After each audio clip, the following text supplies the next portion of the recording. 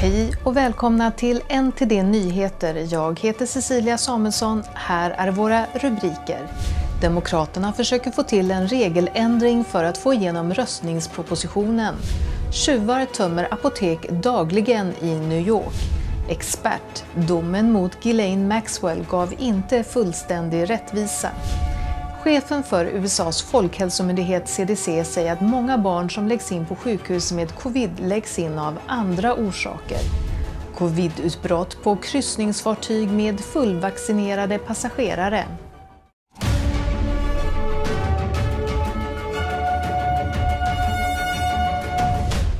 Senaten är tillbaka i Washington DC och sparkar igång 2022 med en lång agenda. En topprioritering är en reform av rösträtten.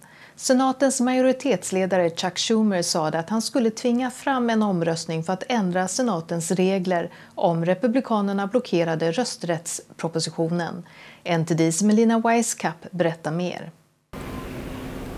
As senators make their way back to Capitol Hill this week, two major votes are on the agenda Biden's massive spending bill and voting rights reform. Senate Leader Schumer has pledged to hold a vote on both of these, although it's unlikely that either of them will pass. As for voting rights reform, this is something that all 50 Democrats do support, but it's likely to face pushback and blockage from Republicans. In order to overcome this challenge posed by Republicans, Democrats want to change the Senate rules so they can pass it alone. Senate Leader Schumer Schumer today announcing that he plans to hold this vote on the rules change by mid-January. I ett brev till kollegorna säger Chuck Schumer att regeländringen kan vara nödvändig för att skydda demokratins grundvalar, fria och rättvisa val. Schumer lyfter fram den kommande årsdagen av 6 januari och hävdar att om röstreformen inte antas skulle den kaotiska dagen förvandlas till den nya normen. Lagförslaget Freedom to Vote Act som Demokraterna försöker få igenom syftar till att underlätta röstningen genom ett antal krav på delstaterna, som att utöka förtidsröstningen, göra valdagen till en federal helgdag och förbjuda köer som varar längre än 30 minuter och kräva att alla delstater tillåter poströster utan att väljarna behöver uppge en anledning till poströstningen. Det skulle skapa en nationell standard för ID-kort vid röstning, vilket gör ID-kravet mer flexibelt. Men delstater måste inte kräva ID-kort vid röstning, inte ens för postade valsedlar. Lagförslaget tar också upp kampanjmedel. Alla enheter som spenderar över 10 000 dollar i ett val kommer att behöva lämna ut information om alla sina största bidragsgivare. And Senate Democrats right now are working on a change to the rules that would carve out an exception to pass voting rights legislation with just a majority vote. President Biden says he does support this, but it's unclear if it will actually pass. That's because Senators Manchin and Sinema are skeptical of changing the rules to pass a voting rights bill, although they do support the bill itself. They're just skeptical of changing the rules to do it. Reporting in Washington, D.C., Melina Weisskopf, NTD News. Butiksstölderna ökar i New York, särskilt på apotek och de anställda säger att de inte kan göra något åt det. Lipstick. It's small, but it can easily cost you 20 or 30 dollars. Now, you would expect women to buy this, but some men want it so much they resort to stealing it. Shoplifters walk in a store like this one, take what they want and then they sell it on the street. Alla dessa snatterier resulterar naturligtvis i att varor saknas. Halvtomma eller helt tomma hyllor. Som du förstår är det främst de dyra produkterna som är svåra att få tag på nu, om du vill köpa dem lagligt. Jag pratade med flera anställda och de sa alla att de hade drabbats av stölder varje dag den senaste tiden. En anställd sa, vilket apotek blir inte rånat nu för tiden? Vi blev rånade för bara en timme sedan. Jag frågade stadens polis vad de planerat att göra åt de pågående stölderna. De svarade inte på frågan, men skickade ett uttalande där de sa att anmälningarna om snatteri har ökat. Förra året vid samma tidpunkt fanns det 20 000 sådana anmälningar. Hittills i år är det 26 000. Så varför stjäl folk så mycket nu för tiden? New York-polisen, NYPD, skyller på borgensreformen som trädde i kraft i staden förra året. På grund av den släpps snattare såväl som andra gärningsmän på fri fot samma dag som de begår ett brott. According to reports, one man has been arrested for shoplifting almost 60 times this year alone. He's not in prison, and it doesn't look like the laws are going to change anytime soon. Arian Pastar, NTD News, New York. Copycats av de fräcka västkuststölderna dyker upp i större amerikanska städer. I en lyxbutik i centrala Chicago stal två smash and grab-rånare klockor för över en miljon dollar. Affärsinnehavaren är upprörd och ger den lokala regeringen skulden för den ökade brottsligheten. Bentley Gold Coast har sålt exklusiva bilar och lyxiga smycken i 19 år i centrala Chicago. I lördags klockan 13.00 stal två män beväpnade med pistol och en slägga lyxklockor till ett värde av över en miljon dollar. Inga personer rapporterades skadade. Two guys walked in, uh, one with a mask on. The guy walked in up to the cases where the watches are, and the other guy was by the door with a gun. And then all of a sudden, I hear, and I was sitting on my desk, I hear this. It looked like, uh, like a gunshot. Rånarna slog sönder montern med smycken och stal dyra klockor värda över en miljon dollar. Händelsen är inte det första brottet som butiken har råkat ut för. That's like the fourth time in two years we have people breaking in at night and you know jumping on cars and what they destroy one car and then every time they seem like the local government, the police, they're just not willing to do anything about it. Ägaren till Bentley Gold Coast är frustrerad över borgmästarens säkerhetspolicy för återförsäljare. I voted for for uh, Mayor Lightfoot. She's done a poor job and what was happened recently before this happened, she was holding the store owners accountable saying that we should get cameras which I have and security guards. Now what good is a security guard in a situation like this? when when when you get two people come in, one's got a gun. What's the security guy gonna do? Shoot him? Couldn't do anything we couldn't do. Perillo skyller den ökade brottsligheten på borgmästarens politik och Cook County delstatlig åklagares svaga rättssystem. Maybe Kim Fox and maybe Mayor Lightfoot feel that by just letting him go without any retribution, they're doing these kids a favor. They're not. These kids are going to have a life of crime. We should demand Mayor Lightfoot and Kim Fox to take responsibility. They have the fiduciary responsibility to protect the citizens, not the thugs. Enough is enough. We're not voting for you. It's a wonderful city. Everybody, but the people are afraid to come here. Perillo anser att den slappa lagstiftningen i Chicago urholkar stadens välstånd och utsätter medborgares liv för fara. Ghislaine Maxwell dömdes för fem av sex sexbrott. Hennes advokat lovade att överklaga. Vi får höra mer från en expert mot sexhandel. Han ger oss sin analys om rättvisa verkligen skipades under Maxwell-rättegången. Jacob Boyens, som arbetar med att rädda och rehabilitera offer för sexhandel, anser att det skippades rättvisa i Ghislaine Maxwell-fallet, men inte fullständig rättvisa. Yes, Ghislaine Maxwell needs to be behind bars. Absolutely. So justice there, but overall justice for combating the crime of sexual exploitation, absolutely no justice. So they've isolated this case now as if, again, there's one bad actor, one bad person on, on, in the United States trafficking children, and we got her. Meanwhile, this is a crime that's happening in every single neighborhood in America. And until we holistically say, look, the purchase of sex with children is absolutely taboo. And if you do that, you go away for life, right? We will not stop this crime. Sure, Ghislaine Maxwell's behind bars.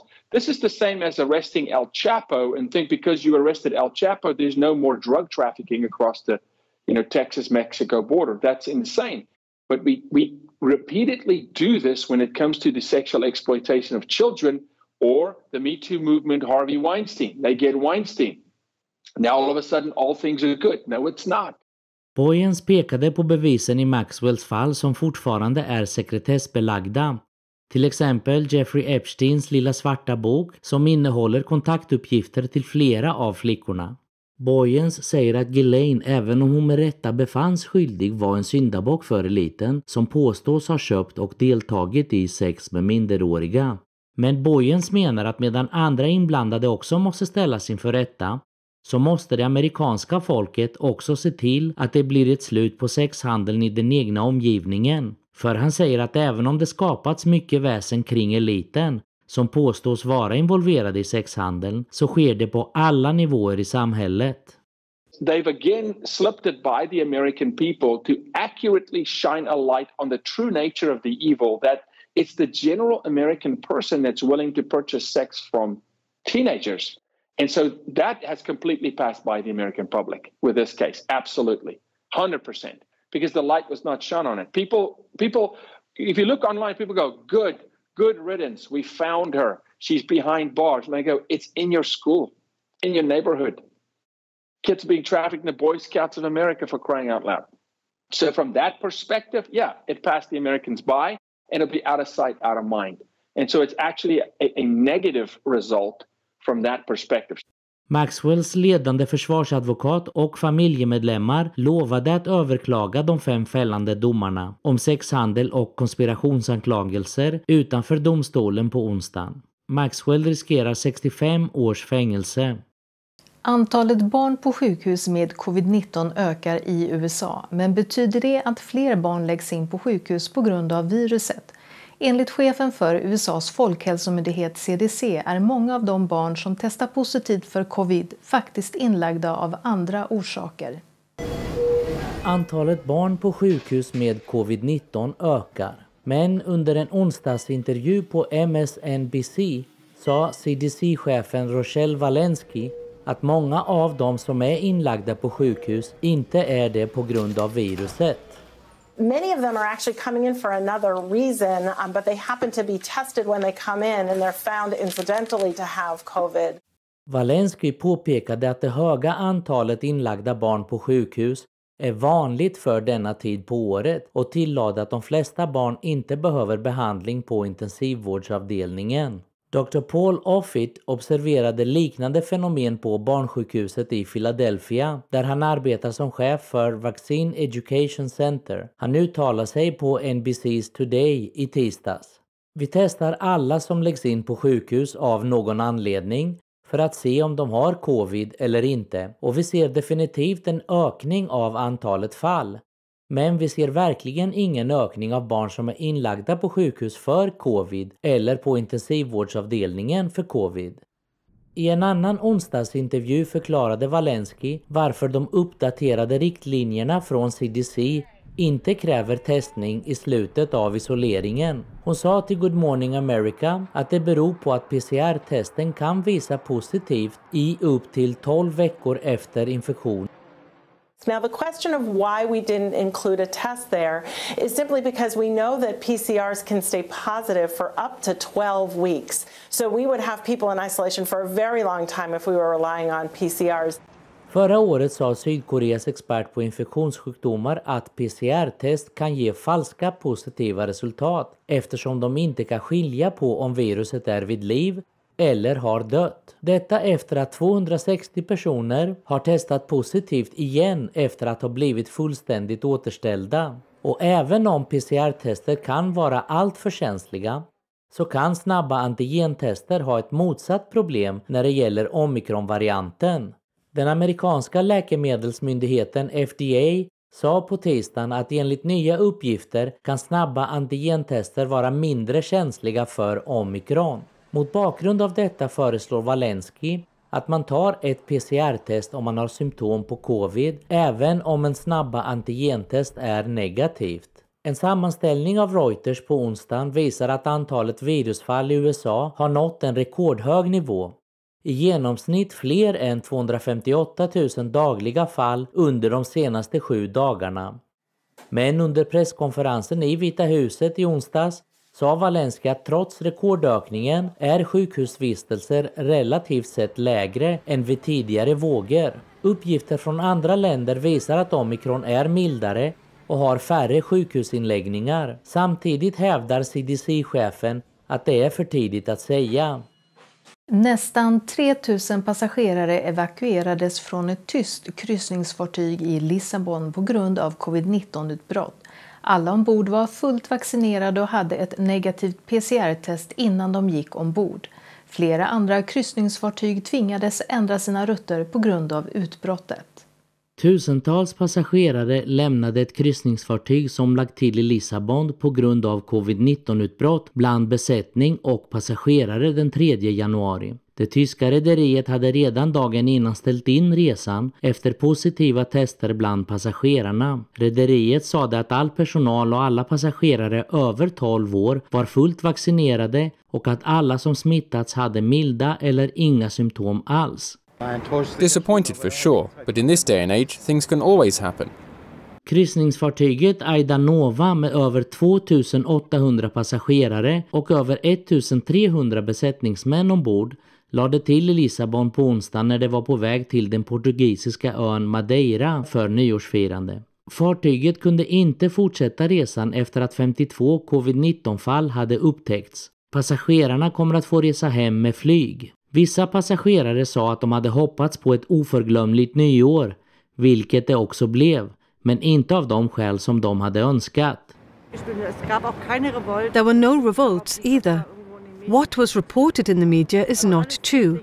It was all peaceful. There were certainly one or two people who may have taken offence, but we didn't hear that. We didn't see it. It's the right decision because we want it to end. Beslutet kom efter att flera kryssningsfartyg tvingats omdirigera sina resor på grund av covid-19-utbrottet. Kryssningsrederierna kräver att all personal och alla gäster som kan vaccineras ska visa upp ett vaccinationsbevis innan de går ombord. Åtgärden blev ännu ett slag mot branschen som återvände till havs 1 juni efter ett månadslångt avbrott. I Tyskland gick tusentals motståndare till obligatorisk vaccinering ut på gatorna under julen. Protester har brutit ut över hela Tyskland under de senaste veckorna då invånarna står inför hårdare restriktioner mitt i den så kallade femte vågen. Tusentals människor över hela Tyskland demonstrerade i måndags mot planerna på ett vaccinmandat för covid-19 och strängare restriktioner. Östra Tyskland hade den största tillströmningen på uppemot 15 000 personer, trots kyla och hala vägar. Men västra Tyskland hade också ett stort deltagande, som här i Mainz. Folk bar skyltar där det bland annat stod “Kämpa för din frihet”. Protester har brutit ut över hela Tyskland under de senaste veckorna då invånarna står inför hårdare restriktioner mitt i en så kallad femte våg som drivs av omikronvarianten. Från och med tisdag får personer som inte är vaccinerade bara träffas i par medan de som vaccinerats eller nyligen tillfrisknat kan träffa varandra i grupper om tio. Polisen säger att en del av protesterna inte var tillåtna. I Bayern fick några deltagare villkorliga fängelsedomar efter sammandrabbningar med polisen i söndags. Folk kom också ut på juldagen som här i Düsseldorf. Demonstranterna motsätter sig regeringens plan på att införa obligatorisk vaccinering för alla vuxna. Texten på några av deras skyltar löd Fritt beslut om vaccination och nej till geninjektionen. Förbundsdagen kommer att rösta om åtgärden i januari. Skulle du byta en iPhone mot en påse ris? I den kinesiska staden Xi'an har de inget val. Invånarna utövar nu byteshandel med varor för att kunna äta sig mätta. Vissa invånare i Xi'an, Kina har börjat byta varor mot mat. Det sker eftersom strikta pandemirestriktioner har gjort det svårt för lokalbefolkningen att köpa basvaror. I två veckor har den nordkinesiska staden levt med nedstängningsrestriktionerna. I början tilläts en person per hushåll gå ut en gång varannan dag för att handla mat. Men efter en vecka med policyn skärpte myndigheterna reglerna och förbjöd även dessa korta sällsynta turer utanför hemmet. Denna åtgärd är tänkt att förhindra att pandemin sprider sig Staden är nu en oroshärd för virusfall och har en totalbefolkning på nästan 13 miljoner människor. De lokala myndigheterna lovade att leverera mat och andra nödvändigheter under den totala nedstängningen. Men ett antal invånare har klagat på sociala medier och säger att det är brist på mat och otillräcklig service från myndigheterna. För att klara sig har några av dem börjat med byteshandel. Ett videoklipp visar en person som byter med sin granne räcker över en påse ris i utbyte mot en iPhone och en iPad.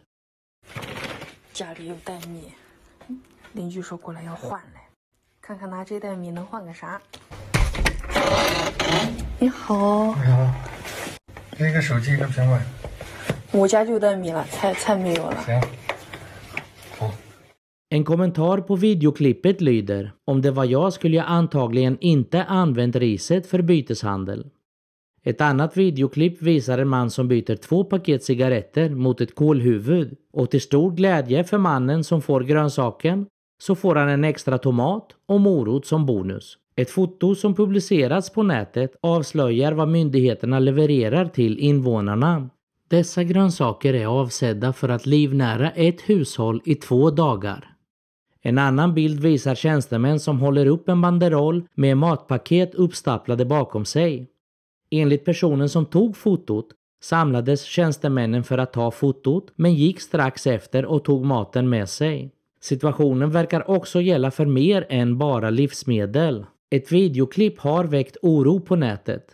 Det visar en kvinna som gråter under karantänen då hon ber om mensskydd. 还有，我来大姨妈了，也没有卫生巾。我从昨天开始一直打一二三四五的社长热线， 然后没有人没有人能处理这个事情，报警也没有人过来接我。然后我从今天早上七点。 En kinesisk statlig mediekanal Xinhua News säger att Kinas nya digitala valuta kommer att kunna användas under OS i Peking. Men amerikanska tjänstemän varnar amerikanska idrottare för att använda den med hänvisning till integritetsproblem. Den kinesiska regimen planerar att marknadsföra sin nya digitala valuta vid det kommande vinter-OS i Peking. Detta enligt den statliga kinesiska mediekanalen Xinhua News. Men amerikanska politiker har varnat amerikanska idrottare att hålla sig borta. Tidigare denna månad skickade några amerikanska lagstiftare ett brev till USAs olympiska och paraolympiska kommitté och uppmanade dem att förbjuda amerikanska idrottare från att förvärva eller använda den nya formen av valuta under spelen. Brevet varnade för att den kinesiska digitala valutan, kallad den digitala yuanen, kan användas för att övervaka kinesiska medborgare och de som besöker Kina i en aldrig tidigare skådad omfattning. Så här sa en senior fellow på tankesmedjan Center for a New American Security till Wall Street Journal. This digital yuan is less about money and more about data. Den digitala yuanen utfärdas av den kinesiska regimens centralbank. Det är en mycket centraliserad typ av valuta och kan övervakas noggrant eller spåras av kinesiska myndigheter. The central bank will know who's paying, how much they're paying, when they're paying, where they're paying. Till skillnad från amerikanska finansinstitut måste alla kinesiska banker samarbeta med det kinesiska kommunistpartiet, även när de blir ombedda att lämna över kundernas personliga information. I en rapport från tankesmedjan Atlantic Council från 2020 sades det att den kinesiska regimen kan spåra varje rörelse hos den digitala yuanen, liksom alla transaktionspartners identitet. Tysklands utrikesminister säger att även om hon är en stor idrottsentusiast kommer hon inte att närvara vid Kinas vinter-OS. Tysklands utrikes och idrottsministrar kommer inte att närvara vid vinter-OS i Peking i februari, sa talespersoner på onsdagen. Peking kommer att vara värd för vinterspelen i februari. Men idrottsevenemanget har utsatts för internationella påtryckningar på grund av det kinesiska kommunistpartiets brott mot de mänskliga rättigheterna. USA har redan utlyst en diplomatisk bojkott. Detta sker genom att inte skicka en delegation till evenemanget. Fast amerikanska idrottare kan fortfarande tävla i spelen. Australien, Kanada och Storbritannien har också anslutit sig till bojkotten medan Japan och Nya Zeeland har antagit en mjukare ton i frågan. Japan säger att man inte kommer att skicka en regeringsdelegation utan istället skicka tjänstemän med kopplingar till spelen. Nya Zeeland kommer inte heller att skicka diplomatiska företrädare med hänvisning till olika faktorer, inklusive pandemin. Tyskland stänger ner tre av sina återstående sex kärnkraftverk. Man planerar att stänga ner resten under 2022. Vad ligger bakom beslutet att stänga ner sina kärnkraftverk som experter säger är relativt säkra och rena, särskilt nu mitt under den pågående energikrisen i Europa? Tyskland stänger ner tre av sina sex återstående kärnkraftverk på fredagen och man planerar att stänga ner de återstående tre under 2022. Landet vill stänga ner all sin kärnkraft. Germany had one of the uh, most effective modern nuclear power systems for many years and Then Fukushima came along, and after that, the Green Party, which had long been opposed to nuclear power, gained some seats. Sterling Burnett är senior fellow vid Heartland Institute. Burnett säger att Tysklands kärnkraft är relativt säker. De har inte haft några problem, men de är trots det oroliga för potentiella olyckor. Their energy prices, already the highest in Europe, will continue to rise farther and faster than they did before because they're taking reliable baseload power offline and going to try and replace it with unreliable wind and solar. And their wind and solar uh, is breaking down now. I mean, they, they have energy shortages already. Those shortages will only become more acute. Och Tyskland kan behöva förlita sig på utländsk energi, även från rivaler. Now they are dependent upon France and they are dependent upon Russia for their electricity generation. Daniel Turner är grundare av Power the Future en ideell organisation som syftar till att erbjuda sanning, fakta och forskning som kommer att berika det nationella samtalet om energi. Enligt Turner kommer Tyskland att bli mer beroende av Frankrikes kärnkraft och Rysslands naturgas. Germany's decisions uh, um, they're not based in reality, right? They're they're, they're choosing Uh, they're hoping to have this perfect world, but we don't live in that world. Omkring 10% av Tysklands el kommer från kärnkraft. Nu när den stängs ner blir de inte bara mer beroende av utländska källor utan kommer också att behöva öka användningen av kol. Ett sällsynt manuskript av fysikern Albert Einstein såldes för över 118 miljoner kronor på en auktion i Paris. Manuskriptet innehåller förberedelser för hans relativitetsteori. Ett manuskript som var medförfattat av den legendariske fysikern Albert Einstein såldes för över 118 miljoner kronor på auktion i Paris den 23 november. Det skildrar början av den allmänna relativitetsteorin, en av Einsteins mest anmärkningsvärda upptäckter. Det 54-sidiga dokumentet, kallat Einstein-Besot-manuskriptet, är ett av två bevarade arbetsdokument som tillskrevs vara födelsen av Einsteins teori. It's a document that shows the birth of the general theory of relativity, which is probably the most important discovery of Albert Einstein's career and one of the most important theories in the history of modern physics. Den allmänna relativitetsteorin utvecklades av Einstein mellan 1907 och 1915. Den handlar om att gravitation är en manifestation av rumtidens geometri och att rumtiden är krökt. Krökningen påverkar massiva kroppar så att de får en förändrad bana, vilket ger upphov till det vi kallar gravitation. Vincent Belois, bok och manuskriptexpert på Christies, sa att manuskriptet utmanar Einsteins populära bild som ett absolut geni eftersom det visar att även en av världens mest intelligenta vetenskapsmän gjorde misstag. Einstein makes errors in this manuscript, and that I think makes it even greater in a way, because we see the persistence, the thought that was in the process of being built, that is being corrected and redirected. Relativitetsteorin förändrade för alltid hur forskare förstod universum och formade den moderna fysiken. Tack för att du har tittat och på återseende.